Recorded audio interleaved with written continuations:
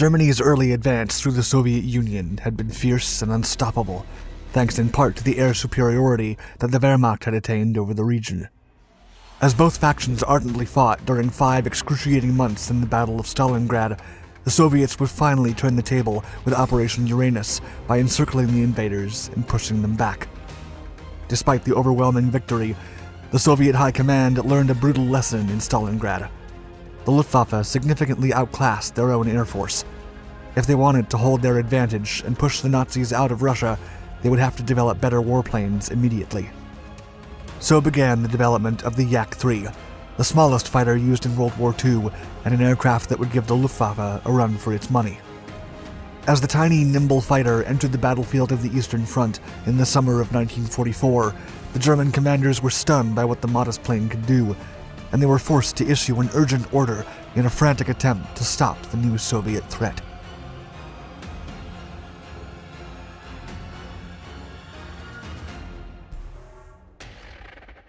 Lesson from Stalingrad. Despite the failure to capture Moscow, Operation Barbarossa had been a disaster for the Red Army, as it was unable to hold back the mighty German Blitzkrieg when it violently tore through Soviet territories. In the end, the Soviets could only slow the invasion and then retreat further back into the Russian wastelands as the Wehrmacht drew ever closer to its objectives.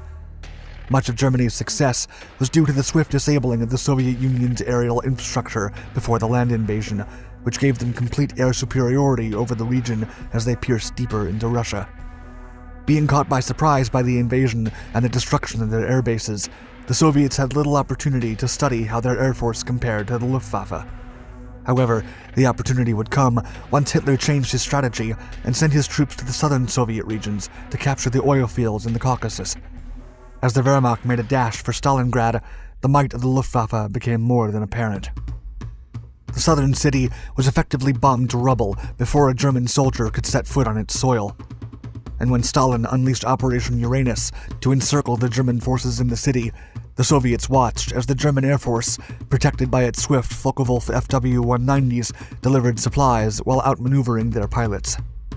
Still, Stalingrad would be a rotund victory for the Red Army, but the flaws of its already depleted air force were made more transparent than ever. The Yak-1s, the most popular fighter aircraft used by the Soviets, paled in comparison to the Focke-Wulf FW-190 when it came to speed, range, rate of climb, and agility. If the Soviets wanted to hold their advantage and send the Germans back to Berlin, they would need to gain air superiority. And for that, they needed a new workhorse fighter, one that could face off against the masterful German engineering. Think small. Alexander Sergeyevich Yakovlev, the aeronautical engineer responsible for the Yak 1, was determined to design a replacement for his own ubiquitous fighter. By this time, Yakovlev had already designed several successful aircraft for the Soviet military, and he had built the JSC AS Yakovlev Design Bureau, a government agency tasked with outlining and producing military aircraft for the Red Army. Thus, in 1943, Yakovlev and a team of engineers designed a modern and powerful fighter aircraft that took advantage of the Yak 1's attributes, but took its survivability, flight characteristics, and firepower to a whole new level. Yakovlev's philosophy was straightforward take the outline of a Yak 1, put in a more powerful engine, and make the airframe smaller and lighter, so the result would be a faster and more maneuverable aircraft, while also being able to carry heavier armament. The engineer had previously used Klimov engines, and had grown fond of their reliability, ease of maintenance, and raw power, so he decided to use the same Klimov M105 V12 liquid-cooled piston engine he had fitted into his previous design, the Yak 9. This aircraft had proven to be a force to be reckoned with, and it was loved by Soviet pilots. However, it was stifled, and its large and heavy frame did not allow the engine's capabilities to shine at their full potential. Yakovlev then finished the Yak 1M, a prototype that would ultimately lead to the Yak 3's final design. Yak 3 The Yakovlev Yak 3 was fitted with a VK105 PF2, the latest iteration of the M105 engine family, where P showed support for a Modernaya Pushka. This autocannon was synchronized to fire between the engine banks through the propeller shaft mounting. The warplane incorporated a wing of a similar design to its predecessor, but with a smaller surface area and additional aerodynamic refinements. One upgrade was the new placement of the oil radiator, which was moved from the chin to the wing roots, creating a sharp difference between the new outline and previous Yak designs. Throughout its career, the Yak 3 would wield a vast array of weapon systems, according to the specific role it would take as part of an operation. Still, the initial 197 units were lightly armed, with a single Modernaya Pushka mount 20mm SHVAK cannon and one 12.7mm UBS synchronized machine gun. This machine gun was synchronized to the engine to fire through the propeller without damaging the blades. Many fighter designers at the time avoided using synchronized machine guns due to the potential hazard and higher upkeep costs. Still, Yakovlev wanted to keep the wings free of load and give the pilots the advantage of controlling their guns as they steered the plane. Preliminary tests were highly promising, but Yakovlev wanted to accentuate the power and speed the new Yak 3 could offer. So the VK105 PF2 engine was modified from a manifold pressure of 1050 to 1100 millimeters of mercury. Boost increased the time needed to reach an altitude of 16,000 feet by 0.1 seconds, the takeoff runs by 49 feet, the height gains in a combat loop by 160 feet, and the speed below altitudes of 7,900 feet by 4 miles per hour. The aircraft's final version was like nothing Soviet pilots had flown before. Lead test pilot Peter Mikhailovich Stefanovsky was so awestruck with the new aircraft's performance that he officially recommended that it should immediately replace the Yak 1 and Yak 7 and only spare the Yak 9 because of its suitable performance. After an intense but fruitful development phase, the newly designated Yak 3 entered service in 1944. It would soon exceed all expectations and would quickly become the backbone of the Soviet fighter force.